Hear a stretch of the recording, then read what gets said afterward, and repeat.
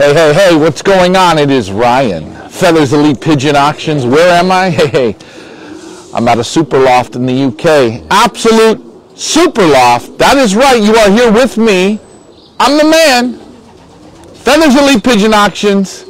We're at Formula One Racing, Essex, UK. How did I get here? I took a plane, went through customs, and yet I arrived. And you guys are here with me. We're going to go inside. We're going to give you a quick little sneak peek view on what's coming to Feathers Elite Pigeon Auctions. That's right, this auction for Formula One racing next week. You're going to see the loft tours. You're going to see all the goods. Peevler, you're with us. Here we are at Formula One. It's a long loft loaded with national superstar winners Winners, winners, winners, and more winners. Remember, where do you guys go to bid Feathers Elite? Pigeon Auctions, that's right. www.fipa.ca, fipa.uk. It's all there. Let's go in and say hi. You're going to see some super pigeons. Here's the man himself. 2020 Golden Doif winner, John Gladwin.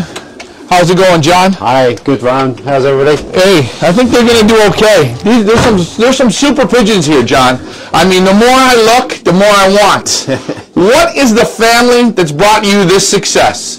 The Friends Wild pigeons, old Friends Wilds. Yeah. Since we've had them, our racing's moved to a completely different level, not just for us, but for our many customers as well. I mean, we, we added up the other week, and since 2017, bear in mind we bought these in 15, the first year of breeding was 2016 and since then there's been 62 first or seconds in nationals and combine racing from these family of pigeons in, in, in the UK. And people that don't understand, when you mean national, what's what's the level of magnitude, the number of pigeons, what's it all about? The national is open to the whole of the country. So there's pigeons flying from Wales, into the um, Midlands, into Essex, all, all, over the country. There's everybody enters, so you've got all the best fanciers in the country in them races. Uh, the pigeons are going everywhere. They've been predominantly up until last year anyway when we couldn't get into France because of the EU issues. But before that, all the races are from France. They're coming across the channel. The pigeons are it's being split about. The pigeons have got a break from that transporter, hold their line, they're being dragged potentially all around the country. Uh, and they've got to come straight home to win them nationals. So what you're saying, John, is these are very intelligent pigeons. Super intelligent, yeah. They don't mind a little bit of water. Nope. Okay, and they can handle lots of birdage. Yes, yep. And they're consistently scoring. Yep. And and these pigeons, you've had others, other families, but these are the ones that are doing it. These are the ones we got left. The rest have all gone over the last few years, and everything's now around these Francois pigeons. Wow. And uh, what's left for them to do, really? What, what, what, what are you trying for? What, what's the big move next? The next big move is to to win the uh, international. That's the one thing we've kind of got left on the on the bucket list. Um, Tip Top Tour, one of our pigeons, won the national in the UK, but they were let go with all the Belgians, Dutch, and uh, German pigeons. She was 56 international, 22,000 pigeons. That's the one goal left. We've won the nationals at young birds, we've won them at old birds, in the sprint to middle distance, we've won them in the long distance, the 500 plus miles as you said earlier, the Golden Doif winner.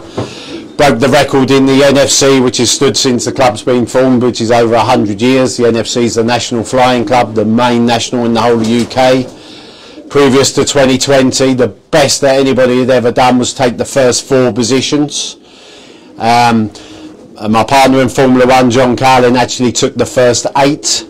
Uh, Where, where's John? He's hiding outside. He's hiding outside. Come on, John. Where, so, so you, you, so in that national race, you set a record, and, and people, if you're watching, listen to this record that Formula One racing set. Go ahead, yep. give it to them. So John Carling took the first eight, and he's your partner. Partner in Formula One, yeah.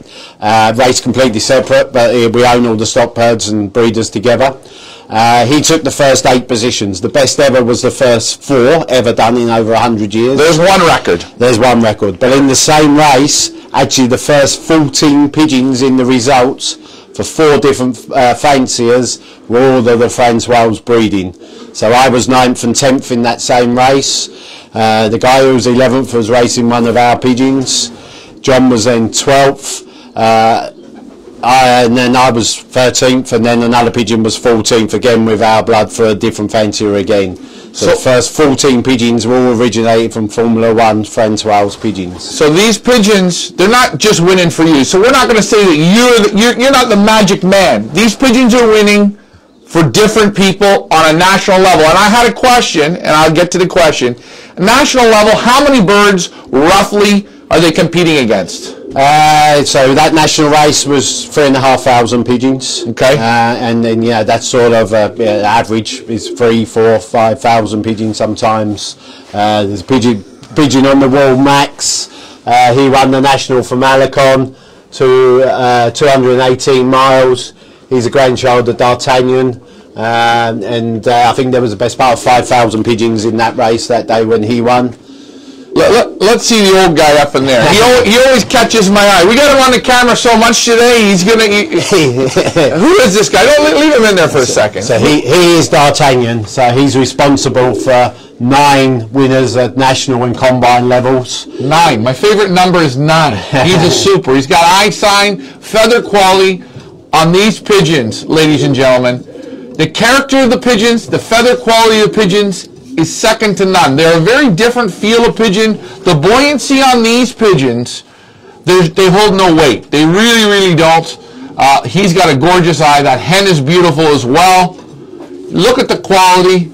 And he's, he's a nine-time winner? No, he's he's responsible for nine times first at national and combine level. You, are you guys looking for pre-potent breeders? Sire, nine times different winners. Yep, yep, and that's ranging from 200 miles to 500 miles. 200 to 500. He's he's called D'Artagnan, but his uh, three brothers were called the Three Musketeers. They raced for in Holland for France, and between them they won 75 first prizes sprint racing. Uh, and then say he's the full brother, he's the breeder, and uh, he, he never raced, but in the breeding, say nine times first at national combine level, 200 to 500 miles. But his his offspring also win very well at sprinting. You know, John, I, I got to ask you, Feathers Elite Pigeon Auctions, boy, we'd love something out of this guy. You're very lucky. You've got one. You've got a direct daughter out of him. Um, that's quite inbred. Uh, the, the dam's a younger pigeon that I actually bred uh, specifically to put back to him to keep this line strong for many years to come. Um, so he's very inbred on his breeding lines. And uh, hopefully he'll do very well. But uh, And this is your breeding loft. Very nice loft, long. yeah, long central corridor sections either side, and we've got six boxes on, on this side all the way through, and then on this side we have nine boxes. Each section has its own aviary, so the pigeons have full access to fresh air, baths when they want them. About twice a week on average they get a bath. Hey guys, you got to tune in for the loft tour with Formula One. You, you really have some interesting things that you do with the birds. Not over the top, crazy, but simple, simple, simple. But the quality of these pigeons that you have mm-hmm. is mind blowing. It really, really is. You feel the feather quality, that good muscle, soft feathers. I, I keep saying soft feathers. I, I can't. I've, it's been a while since I felt the silkiness. And, and since you've taken them on, this family, anything that you've brought in to compare doesn't hold a candlestick to these. No, since uh, since we bought the whole line in 2015, we're always trying a couple of new pigeons every year. Spend very big money on superstars from Belgium and Holland, direct children of the main pigeons. Um, none none of them have made the grade. Everyone's uh, gone by the wayside uh, before they've you know. And, and yes, guys, I can't get to all the questions today. We are uploading onto our YouTube channel, Feathers Elite Pigeon Auctions, the Loft Tour with John Gladwin of Formula One Racing. We've asked the questions, the motivation. You're going to see the feed. We're going to see what he puts in the water. We're going to figure out how does he motivate them. What does he do? Is it cocks? Is it hens? Is it young? Is it old? Do they only win as old birds? Do they only win as young birds? Do they do it all? This family of pigeons, from the start to the end, these pigeons do it. That's why we're here. John, I'm waiting for little John. Where did he go? I wanted him to show his national winner. Let's The, him the hen. Let's go find him. Let's go find him. Where is he? He's he's talking, isn't he? John. Where's he actually gone? He's hiding. he's hiding. John's hiding. The partner. John. Uh, he must. I think he might have had a phone call, but Maybe he had a phone call. Well, that's okay. You have, you have the hen in there. Did you want to show her? yeah, I can get. And I'll just do a quick walk down. Formula One racing, this is where we're at. You see, left, right, this is the breeding loft. This is where the magic happens. Friends, Walt, Pigeons, in the UK, the best of the best. And I'm just giving you a little looky, give it to me. giving you what we call the little sneak peek. This is like, uh, you know, the appetizer. Quality, quality, quality. Where am I? Essex, UK, Formula One.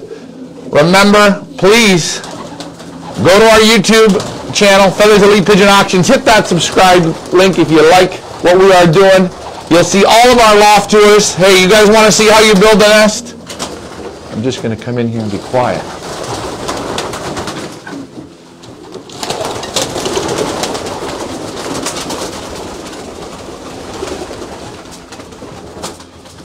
I told you guys I would do lives.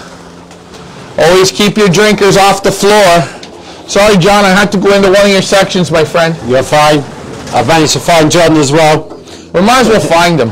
He's here. He's here. Oh, there he is. He, John, keep it down. You're talking too too much. hold on, John. So hold just. You just let me just clip that right in there. Tell me about tell me about this super, John. Uh, this is Queen of Contiers. She won first national, and the following week she won second national. And you flew this pigeon. Yeah, And what breed is this pigeon? it's Francois, Yeah. and she- yeah, I'll pass you over to John now. he doesn't like doing a lot of talking, does that, John? Uh, she's uh, she's super hen. If she would have one second quicker over the page, she would be a double national winner. Um, I think there's only ever been one, uh, maybe one, if, if any, actual true national winners in the UK who are open to the whole of the UK. I don't think there's actually been any, is there? I'm not sure, maybe one. Uh, but uh, yeah, so she, one second earlier across the page, she would be an absolute unique pigeon. But instead, she's got first national and second national, beat by a loft mate. Um, she is a full sister also to Teresa's boy. Teresa's boy won first national, uh, and they are back off the um, a Malcock and the Guernsey Princess. Um, the Malcock is off Recamo 83, which again we have one in the sale uh, out of him. So it's uh, true quality. And you know, I was gonna ask if, if you can do me a favor and hold that camera just like that. You just keep me in there. Don't keep her down, John. Guys, when you're in heaven, you get to handle heaven, and you know what? This hen is absolutely second to none. The muscle, you feel her vibrating in your hands right away. She's strong. Back comes up a bit. Super nice. You see, look at the vibration, eh? In the wing. She just motor. So this is a first national and a second national. Yeah, yeah, and her full brothers are the national winner. Look at look at this hen. Where do you go to bid? Feathers Elite Pigeon Auctions.com. Punch that in. You're going to see the auction opening up. Formula One Racing. This pigeon has it, boy. This pigeon has it. I'll pass this back over. Who, do we, who, who else did you want to show? This is the father, isn't it? Well, we'll see. That, we might as well take, take a sneak peek. Let's see. Did I get any questions? Let me go back and look. Questions, questions. Ryan, you're in heaven. You're so lucky. Ryan, you're the luckiest man on planet Earth. Ryan, can I come with you? What's on the floor, Tracy? You're going to have to tune in to the to the uh, the show for that. All right. Let's see. Who is this one? This is the father. This is the father of that hen, yeah, the Queen of Conches. He's called the Amal cock. We actually sold him as a squeaker. Um, and he was raced by, by uh, Mickey Connolly and Son up in London. He won first the Malg against four and a half thousand pigeons, and then in his next race he was fourth for Malg again against four thousand odd pigeons. When he was fourth for Malg, it was completely against the wind. Uh, when I say amalg, I mean amalgamation, so that's amalgamations of different feds all let go together, Right. uh, to get the bigger birdage. Um, when to say when he was fourth, it was completely against the wind. He was ten minutes in front of any other pigeon into his area, into his federation, um, and he was the only pigeon in that area to make the top hundred of the amalgamation result, and he was fourth open. In a lot of ways, he was better than uh, that was a better performance than the day he actually won the amalgamation. He then come back to Formula One because I say we bred him, but he wasn't raced by us. And since then, he's gone on in his very uh, first nest when he was paired to Guernsey Princess, who's a daughter of the Dream pair. Uh, she was she's also won first national and third national. They bred Teresa's boy that won the national, and then in 2020 they bred the Queen of Concierge that's won first and second national. So full of results. And, and, and I, I gotta, you don't mind if I handle your bird again, do you, my friend? You're doing real good with that camera, John. He's better at that than talking. Isn't he? Well, you know what? When you get him talking, he doesn't stop. Okay, again, exactly like like the daughter, you feel it in, on the bone here, on the keel bone, a little bit deeper pigeon. Feel the fight in them, but you feel that vibration, the motor, buoyancy, feather quality, second to none. It's just like his daughter, eh? Yeah. Just the same way. They don't like to be handled. They're not the they're not calm in your hands. They got a nice vibration, but I can't believe the buoyancy. There's, it's like if you want to know what this is like, blow up a balloon and put it in your hands. There's not. It's just light as a feather. Super, super rich eye. The best of the best. And you know, it's so nice. You're winning with the pigeons. Yeah. John, your partner's winning. This pigeon won for somebody else. Yeah. You're bringing it back now, breeding out of it, and what are we getting again? More winners. More winners. Guys, do you want to put winners in your loft? And, and I'm going to, John, I- I'm going to ask John you this question, okay? Yeah. What do you think of these pigeons overall? The best we've ever raced. Best you've ever raced. How many years you've been racing? 20 plus. 20 plus. So you've seen a lot of pigeons. Yeah. And nothing's compared to these. No, nothing. Can the people build in confidence? Definitely. Definitely. And you know what? It's the truth. Yeah. You want to, he wants to show something else. Look at this. He's like a kid in a candy store. Maltese Falcon. Maltese Falcon. 12. What do we got here? I want to handle this one. I'm feeling good. I'm feeling lucky now. So this is the Maltese Falcon. Maltese Falcon. What an interesting name. Who, who comes up with these names? John, did you name them? That's I did a, this one. You did this. I can tell. Somebody who talks a lot names them like this. Maltese Falcon. this the reason for the name on this, and I should say this is actually is after a very good friend of ours that raced the Francois. Um, he was from Malta, and uh, unfortunately he went back to Malta uh, just for the first lockdown with COVID, and he had a fatal accident in a, in a Oh. on his bike and passed away. Um, so. We decided that the next national winner would be called in, in after him, and Maltese Falcon was his nickname. Class, class here at Formula Racing. Um, so and um, so this cock say won the first national first national flying club, three thousand odd pigeons, uh, beat on the trap the Queen of Concierge that we just had by one second, and. You're very fortunate that you guys that uh, we're actually putting one up same way bred as this into the auction. Um, he's from D32. D32 is one of the top breeding sons of D'Artagnan, the old cock that we looked at just now. Uh, and the mother of this pigeon, she's become a super breeder. She's bred two first combines, I think it's eight times first federations, and of course the first national flying club. Well, I'm, I want to ask if, if John doesn't mind holding the camera again, Yeah. which that's not a problem. I, I have to get some. So I've now handled, just in this little spot, I've handled a double, basically a double national winner, and now another national winner. Oh yeah, look at this. He's super. What a pigeon. You're lucky to have such nice pigeons, my friend. And you know what? It's great that they're breeding for other people. Yeah. Like, exactly. I mean, that's what really makes it quite nice. You know, it's not, oh, the, the fight. You almost feel like he's going to rip his wings off. yeah. Gorgeous, gorgeous pigeon.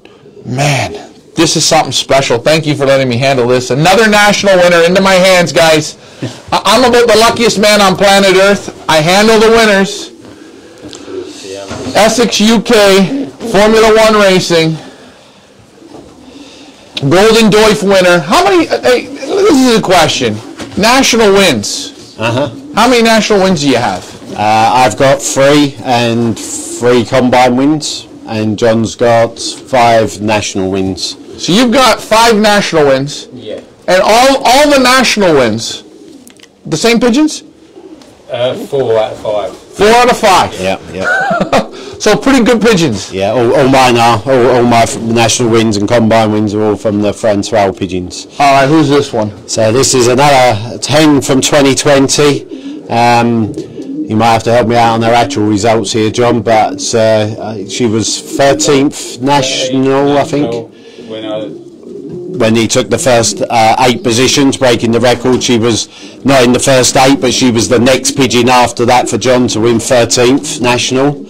Uh, she then won 40 something national, I believe. Uh, and then that was as a young bird. And then she raced again this year from Guernsey, uh, which is as close as we can get to France, a little island out in the sea, um, which is a 200 mile race basically for us. And she won the national this in 2021 as a yearling. So she had 13th national and think 40 something national, and then first national as a as a yearling. She's racing on. Let, Yeah. let me hold on. Yeah, and as John said, he, that's not enough. She's got to race again in 2022. So everything that this pigeon's done, North Americans, are you listening? Oh yeah, she's got it again. Everything this pigeon's done, most people would stock it, Most, yeah, but this one's still got more work to do. yeah. Look at the intelligence in her. She's off a young breeding pair. Um, in that her mother is a pigeon that's called Burnham Queen. Again, she was another pigeon that was uh, actually raced by Lee Bastone, but from our dream pair line, so the Prince of Reckham and Dreamy. She won the national herself, the Burnham Queen, and then we brought her back from Lee, added her to the stock loft. Uh, she's a 2018 pigeon. So first year of breeding was 2019. She's a 2020 pigeon, so she's already bred a national winner. She's a national winner herself. So she's bred a national winner. So she, her mother's bred a national Her winner. mother's bred a national winner. She was a national winner herself, her mother, right. and then bred a national winner. And she also bred this year, in, or last year in 2021, the, the, her mother, so a half brother to her, won the section in the National Flying Club. So the wind was completely against us, nowhere near we could win. Um, in fact, we was probably in the worst position, or John was in the worst position in the whole race, but he's won the section uh, in, in the national and was 204th open or something like that, which doesn't sound great, but when the wind's completely against you, and there was all the winners were completely the opposite end of the country, was a really great performance. Hey guys, you can see here Formula One getting the results where it matters. Forget the clubs. National. National wins. And, Yep. and consistent pigeons. These pigeons keep breeding. They've been breeding winners after winner. Not only for you, not only for John, but people that get them are very, very happy with these pigeons. What makes these pigeons so magical? Ah, it's always a good question, but I think um, they've been a family that's uh, now 50 years in the making. Frank started this family in 1972. He, he brought in over the first three or four years four main lines of pigeons, and they, these pigeons today can still be traced back to them. Uh, so it's generation after generation of winners and winners and strict selection, strict breeding, adding only the very best back to stock has improved the um, generation after generation. And I think what you've ended up with is a real all-round family that win from 50 to 500 plus miles uh, and super intelligence. Um, where Franz raced, he was out on the limb a little bit. He wasn't in the main drag, so for him to win, then pigeons had to break away early. exactly the same for us. For us to win nationals, then pigeons have got to basically win when they leave the transporter. They've got to come out of that transporter, know where home is, and not deviate. Uh, and I think that's what makes the pigeons winners. In you know, it doesn't matter the competition. Even one loft races, you know, we're now seeing that these bloodlines are winning. Um, you know, they, they're coming out in any competition. Well, uh, you know, uh, the results are in the pudding, guys. I'm here, Formula One racing. These birds have it going on. You want to see the in-depth, in-deep, the great loft tour that we have provided. It's coming up. It'll be on our YouTube channel. Remember, go to that YouTube channel, check it out. What is it? Feathers Elite Pigeon Auctions. Hit that subscribe link. That's what I want you to do. Hit it. Follow us along. Formula One racing is coming to Feathers Elite Pigeon Auctions very, very soon. You're going to have 10 shots at this super family of pigeons. Do they breed winners? Yes. Do they keep breeding winners? Yes. This whole loft, almost 200 feet of pigeon loft, all has one family. What's the name of that family, John? Friends Wells. Friends Wells from from from the Netherlands. Yeah. You you bet on them big, and it's paid off. Paid off, John. All right, guys. Hey, I'm gonna let you go. I want to thank you guys uh, for having us in. Much appreciated to have you. It's been good. Facebookers, I told you, Daddy always makes it to the good places. Just follow me. Thanks for flying with us, guys. You have a great day. Bye for now.